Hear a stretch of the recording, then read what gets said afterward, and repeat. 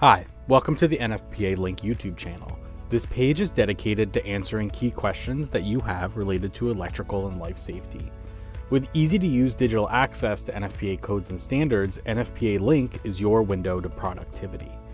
Now, today I'm going to be talking about allowable water supplies for an NFPA 13D sprinkler system.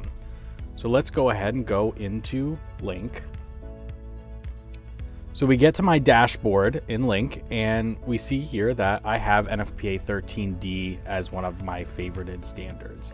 And we see NFPA 13 is the standard for the installation of sprinkler systems in one and two family dwellings and manufactured homes. So that is a sprinkler system for uh, for homes in uh, residential occupancies. So think about like a home fire sprinkler system. So the design of these systems are a little bit different than what you might see in an NFPA 13 more commercial fire sprinkler system. So today I'm going to be talking about the water supplies. So let's go ahead and go into here.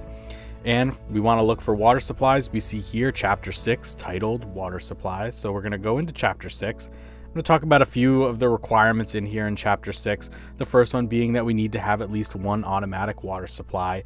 Something a little bit different than what you might see in 13 is we're only looking to have a quantity of water for a demand rate of 10 minutes. So we'll only need a 10 minute water supply for one of these systems.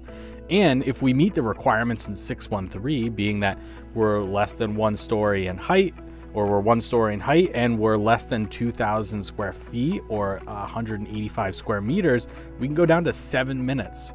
And that's important when we start talking about some of the allowable water supplies, one of them being a tank and a pump. Uh, that, that allows us to have some relatively small tanks to supply these systems. So we're going to talk about 6.2 here, which is our allowable water supply sources. The first one is connection to a reliable water work system, either with or without an automatically operated pump. So we can just connect to a domestic water supply to a home, so the water line coming in from a municipality, we can connect to that. We can have an elevated tank that's not that common for these types of systems. We could have a pressure tank. Again, that's not really that common to have a pressurized tank. Um, one of the more common, other than a municipal water supply, would be a uh, the source of water and an automatically operated pump. So that is basically a tank and typically they're going to be in the basement, a small tank and a an electric pump. And it's important to note here that NFPA 13D does not require that the tank or the pump be listed or meet the requirements in NFPA 20 or NFPA 22.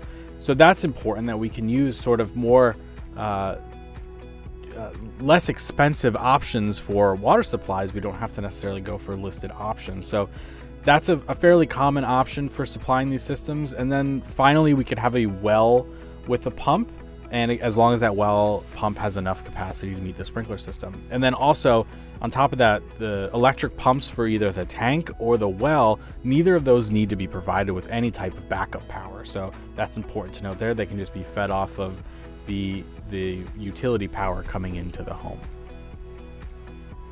So I hope that provided some insight into the allowable water supplies for an NFPA 13D sprinkler system.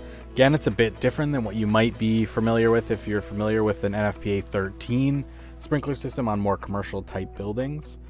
If you want to learn more about how NFPA Link can give you the knowledge that you need to get the job done right, go ahead and visit nfpa.org/link.